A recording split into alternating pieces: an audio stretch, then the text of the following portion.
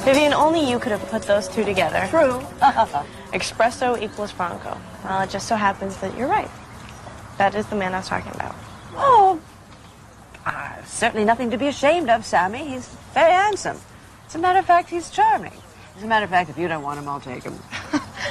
Can we just talk about something else now? Uh, two espressos, please. This is something new for you, talking about your feelings, isn't it? Well, yeah, I guess. No, well, no, I didn't want any, thank you. I can see why that would be a problem. The relationship you have with your mother and your half-sister, and then, of course, there's Eric. I know you're close to him, but this is more of a woman's subject, don't you think? And it's, um, tough to keep that all bottled up, isn't it? Yeah, it is, especially since every time I put my feelings on the line, I end up getting hurt.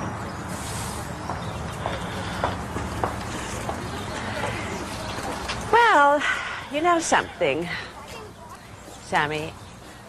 I happen to be one of the great failed romantics, but as I always say, better a failed romantic than not a romantic at all. Isn't the line, it's better to have loved and lost than never to have loved at all? Yeah, well, I try to use a variation on the theme whenever possible. Yeah, well, I'm certainly an expert in the lost department. Well, all you can do is take those sad moments and try to find love and get love in return. You make it sound easy. It is. that is, if you can find the right man. Well, that's my question. I mean, how do you how do you know if you found the right man? Well, you look at what he says, what he does, how he treats you.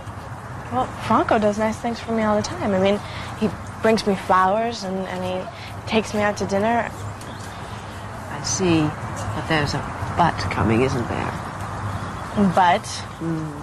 I know I love Austin, and I always will. From your side, darling. But it's a waste of time. I think you should give Franco a chance. I don't know if I can trust him. I don't know if I could trust any man. Franco, please, no more. Maybe there is something I can do to help. Why don't we go somewhere and talk like old friends? Yeah, sure. Why don't we go to Java Cafe and have an espresso? Let's go.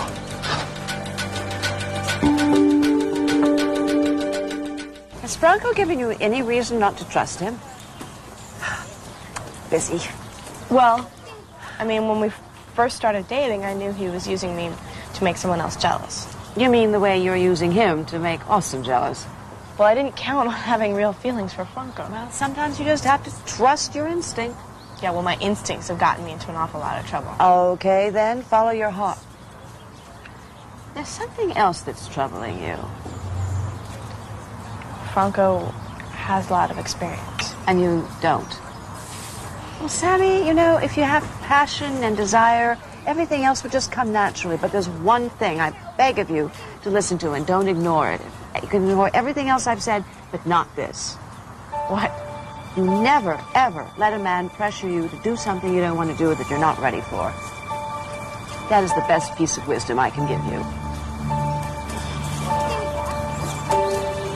Well, thanks for the talk, Vivian.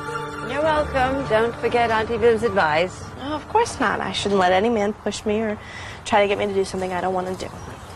Good luck with Franco. Well, we're going out to dinner tonight, so I will definitely keep you posted. Bye.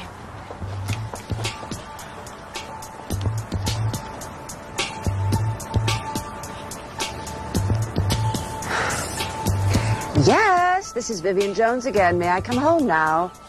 Sorry, ma'am. You won't be able to come home until tomorrow. Tomorrow? Where am I supposed to sleep? Our company will be happy to pay for a suite at the Salem Inn tonight. Well, can I at least come by and get some of my things like pajamas, another change of clothes, a toothbrush? You'd be risking your life. The levels of, of toxic gas in your house are incredibly, dangerously high.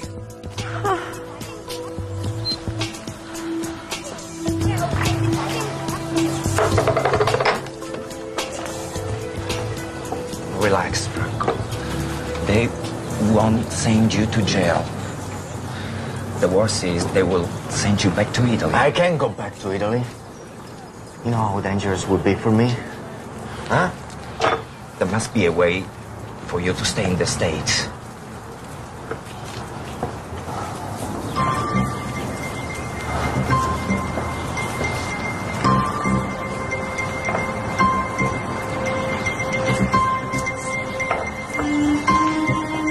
Yes, yes. There is a way I can stay in the United States. I have to marry a girl before my court date. Bongo?